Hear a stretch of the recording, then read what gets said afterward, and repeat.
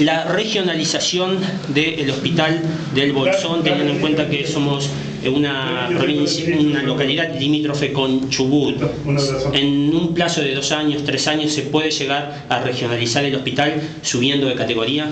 Bueno, el hospital está en un proceso de subida de categoría, de recategorización. Eh, yo lo conozco hace muchos años, he estado a cargo de la zona sanitaria este, en tres oportunidades, así que tengo conozco el hospital, conozco mucha de la gente que se desempeña aquí y, veo y acompaño la idea de ir incrementando la capacidad de respuesta y la complejidad del hospital. La regionalización del sistema es una realidad dentro del territorio de la provincia. Nosotros tenemos una provincia este, dividida en zonas que de esta manera este, definen las regiones sanitarias, en seis zonas sanitarias. También es importante eh, los vínculos interjurisdiccionales, digamos.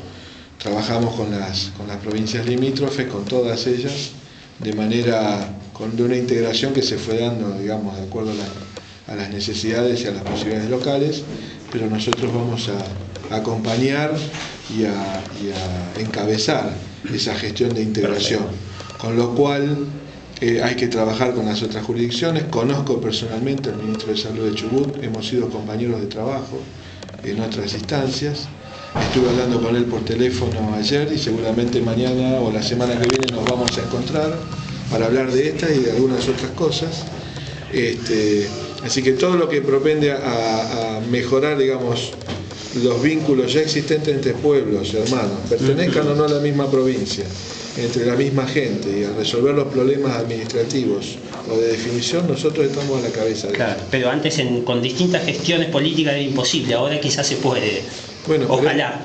Pero, este gobierno, digamos, ha dado muestra de, tener una voluntad novedosa en este sentido y una iniciativa que se enmarca en la lógica del, gobierno nacional y gracias a Dios de vuelta en el gobierno municipal también y, con el gobernador Beretineca a la cabeza en esta política de integración, de ser de, hacer un uso racional del esfuerzo de los, de los recursos que se representan el esfuerzo de la gente porque eso, de eso se trata. Nosotros administramos el esfuerzo de cada rionegrino que paga sus impuestos, que genera trabajo, que genera riqueza, y entonces, ¿cómo no vamos a acompañar iniciativas que van a resolver los problemas de la mayoría de la gente? Bueno, ahora mm, una parte importantísima en la salud lo hacen los recursos humanos. En este sentido, ¿cuáles fueron los requerimientos del director local si ya les puede dar respuesta? ¿Sí? los recursos humanos son las organizaciones. No hay, no hay hospital, no hay centro de salud, no hay sistema que funcione sin gente, sin, su personal. Eh, son las mismas organizaciones. Nosotros le hemos pedido eh, la evaluación de, la planta, del personal, el director nos acercó la fundamentación de los contratados sobre todo y nosotros hemos acompañado esta decisión del director y de la comunidad hospitalaria este, porque las razones, los argumentos son valederos, son, son por otro lado lo que nos pidió también el gobernador, de analizando caso por caso, y eso se ha hecho.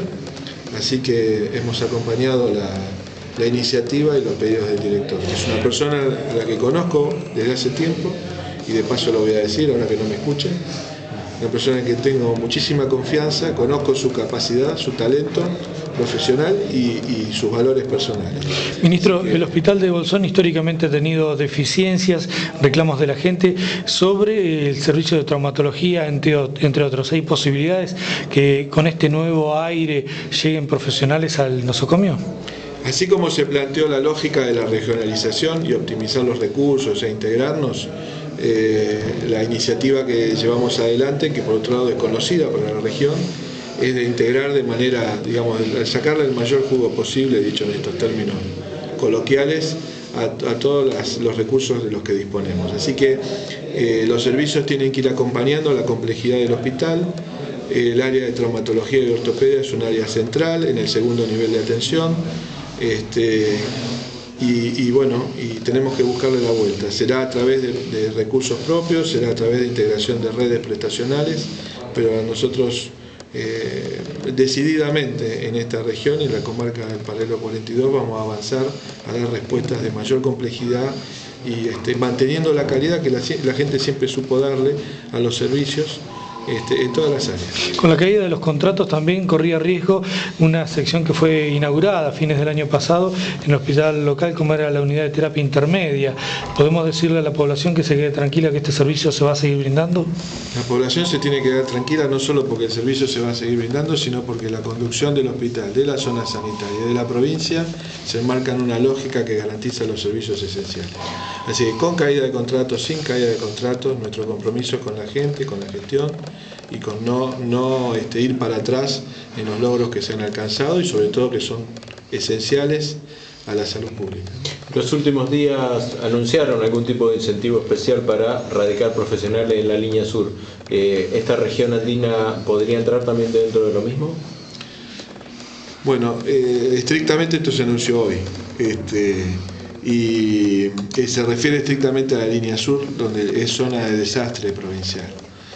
Yo creo que nosotros, eh, vuelvo a insistir, avanzamos claramente en la lógica de, ir resolviendo los problemas. Para eso tenemos un escenario este, de años, que es lo que eh, corresponde a la función y al mandato, pero tenemos que establecer un cronograma. Empezamos, en salud pública sostenemos un valor que es la equidad que es decir, poner más cosas donde más se necesitan, mayor esfuerzo donde más se necesita, donde está la gente en situación de mayor vulnerabilidad.